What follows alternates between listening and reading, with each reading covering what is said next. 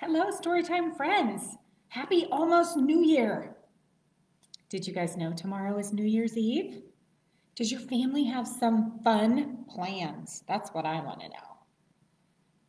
Do you guys watch fireworks? Do you have special treats? Do you try to stay awake until the new year? Lots of different things to do to celebrate a new year. So, what year are we in right now? Did you say 2021? Which means next year would be 2022, right? Wow, I don't know how the years are going by so quickly. Do they feel like they're going by fast for you? Hmm, okay. I think maybe some wiggles. It seems like a wiggly kind of a day. At least it does to me. Do you remember the head and shoulders song? We'll finish off at the end with this new part that's about New Year, but let's try. Head, shoulders, knees and toes, knees and toes. Head, shoulders, knees and toes, knees and toes. Eyes and ears and mouth and nose. Head, shoulders, knees and toes, knees and toes. Here's this new part. Ready? There's a new year on the way. Can you guys sing that part with me? There's a new year on the way. Let's celebrate the new year. Oh, whoops. Let's try that again. Let's celebrate the year and give a cheer. You guys want to try that with me? Let's celebrate the year and give a cheer. Hooray! There's a new year on the way. Should we try it one more time? Do you think you guys, maybe I'll do better this time. Let's see. There's a new year on the way, on the way. There's a new year on the way, on the way. Let's celebrate the year and give a cheer. Hooray! There's a new year on the way, on the way. So people do all kinds of things to celebrate New Year. And then people do something else in the new year. It's called a resolution. And we're going to hear about New Year's resolutions in just a minute. But first, I thought it might be fun to just start with a winter fun story. Bear is awake. See that bear sleeping in his den. A is for awake. B is for big bear. And C is for cozy cabin. D is for doorbell, ding dong. E is for enter and excited and eek. F is for food. That's a hungry bear. G is for grumpy. I think I'd be grumpy if a bear ate all my food. How about you guys? H is for hat. I is for intrigued and idea. J is for jumpy and jeepers.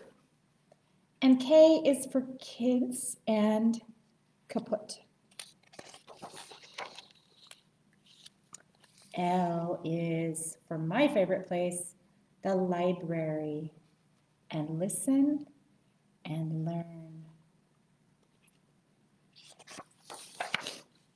M is for market.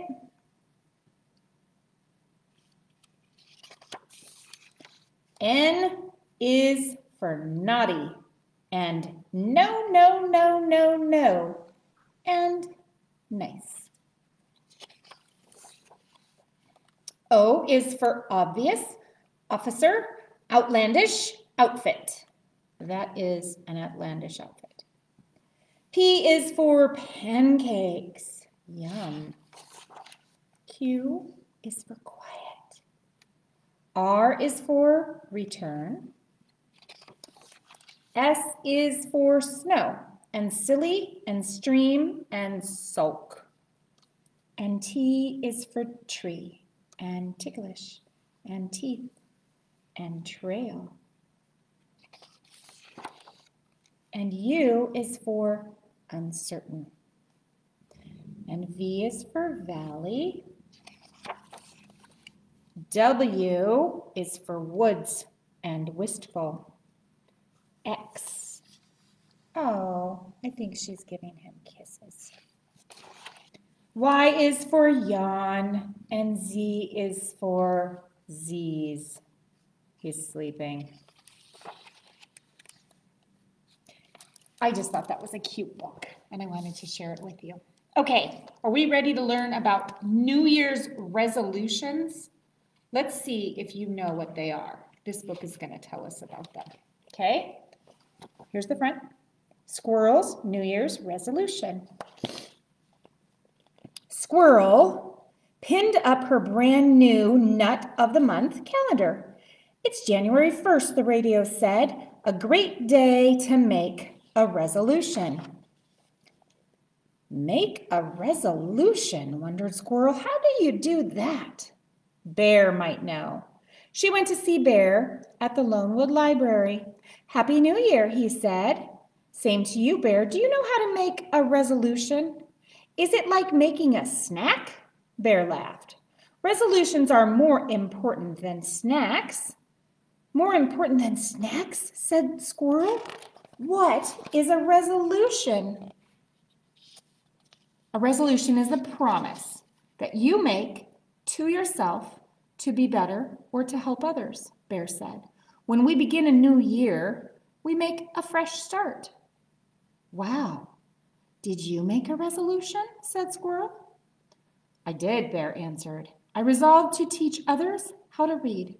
I'm going to teach Skunk as soon as she gets well. Oh no, Skunk is still sick, Squirrel thought. As she hurried to Skunk's house for a visit, she forgot all about making a resolution. Skunk was sick of being sick. I'm stuck in bed until Dr. Owl says I'm better, said Skunk. I would rather be learning to read. That's my New Year's resolution. Squirrel knew how to cheer up her friend. She hid, hid at the foot of the bed. She popped up and shouted, Boo! Skunk giggled. Hide and skunk was her favorite game. Squirrel popped up again. Boo! Again. Boo! By now, Skunk was laughing hard. Just then, Dr. Owl came by. Skunk, I can tell by your laughter that you are feeling much better, he said. Now you can visit Bear. Just make sure you have a healthy lunch first. Lunch, thought Squirrel. She headed toward the Hidey Hole Diner. Maybe someone there can help me with my resolution. On her way, she met Mole and Turtle. Mole was holding a map close to his nose. What are you doing? asked Squirrel. Turtle and I resolved to plant a garden, said Mole, but I can't find a good place to dig with all these trees. Wait here, said Squirrel. She dashed up an oak tree and looked down. She spied Wildcat Creek, and on its bank, a perfect place for a garden. Squirrel scampered down and led Mole and Turtle through the woods to the edge of the creek. She helped them stake out the string for the borders of the garden. Thanks, Squirrel. I will start digging right after lunch, said Mole. Lunch, thought Squirrel, and she rushed away. She still hadn't thought of a resolution. At the diner, Squirrel chose a stool next to Porcupine. He looked grumpy. What's wrong? asked Squirrel. I resolved to be less grumpy, so I'm trying to laugh more, but I can't think of anything funny I can help you think of something funny, like why did the squirrel run back and forth across the road? I don't know. Why? asked Porcupine. Because she was nuts, laughed Squirrel. Porcupine laughed too. I get it. That reminds me. What's striped and bouncy? Tell me, giggled Squirrel. Skunk on a trampoline, said Porcupine. Squirrel laughed herself right off the stool. Porcupine said, That's a good one. I better write these down. Off he went to find paper and pencil. Squirrel felt left out. Porcupine has a resolution. So do Bear and Skunk and Mole and Turtle, she thought. I'm the only animal in the forest who hasn't made a New Year's resolution. Rabbit came to take Squirrel's order. Would you like to try my New Year's special? asked Rabbit. Sure, said Squirrel. Maybe it will help me make a resolution. I wish I knew how. Think of a way to improve yourself or a way to use what you're good at to help others, said Rabbit. Squirrel ate her lunch, special, and she thought hard. Just then, Skunk came in. I need a healthy lunch. Thanks to Squirrel, I'm feeling better. Sit with me, Skunk, Bear called. I see you brought our first book. Turtle and Mole came in next. What do you have for two thirsty animals who just started a garden? said Mole. Squirrel found a terrific place for it, said Turtle. Porcupine hurried in. Do you know why Bear said caw, caw? Before anyone could answer, Porcupine said he was learning another language. All the other animals laughed. I didn't know you were so funny, said Mole. Me either, said Porcupine. Squirrel got me started. Rabbit said to Squirrel, You're doing a great job on your resolution. I didn't know I had one, said Squirrel. Your actions are better than words. It looks like you resolved to help someone every day, said Rabbit. Really, asked Squirrel. I did it. I made my very first resolution. Hooray for Squirrel, shouted all the animals. It was going to be a very happy new year. So what do you think? Resolution, a promise to make to yourself to be better or to do something to help others? Can you think of a resolution you might like to do for New Year's? I can think of a couple. I have one more fun story for you guys. It has been so icy out, right? We got rain and then it turned to ice. Have any of you tried the skating rink? That would be kind of a fun thing to check out over this holiday weekend. See if you can go ice skating. I thought maybe a story about ice might be nice. Bunnies on Ice is our next story.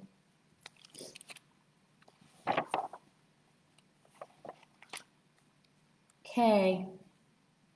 When you're a champion ice skater, you have to wait for the conditions to be just right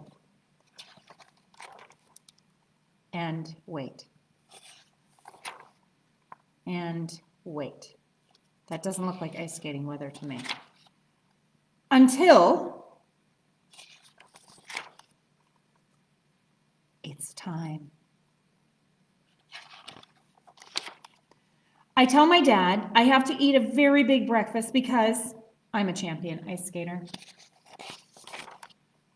I say when you're a champion ice skater, you have to wear a lot of clothes, but not too many. I have a lot of fans. I can spin faster than anyone. Uh-oh. I can do a figure eight with my eyes closed. I can leap into the air and land perfectly every time, just like a champion ice skater. Well, almost. When you are a champion ice skater, it's very important to have an excellent support team and drink lots of hot chocolate. And eat a balanced diet and keep your muscles loose. Get some rest and try again tomorrow. Okay, that's all the stories I have for you. But I want to do one more thing before we say goodbye for this year. should we practice counting down to the new year? So tomorrow night, here's what happens. People try really hard to stay up until midnight so that they can count down because at midnight we start a brand new year. Right? Should we practice counting down from 10? Can you guys count backwards? Put up your 10 fingers. Let's see. We have 10, 9, 8, 7, 6, 5, 4, 3, 2, 1. Happy New Year! That was good practice. Should we try one more time? Okay, here we go. We're practicing for tomorrow in case you stay up until the new year. And even if you don't, then you're all practiced for the next day. Ready? 10 fingers. 10, 9, 8, 7, 6, 5, 4, 3, 2, 1. Happy New Year! I hope you guys have a wonderful New Year's weekend. And I'm going to see you right here next year for story time. Bye for now, friends.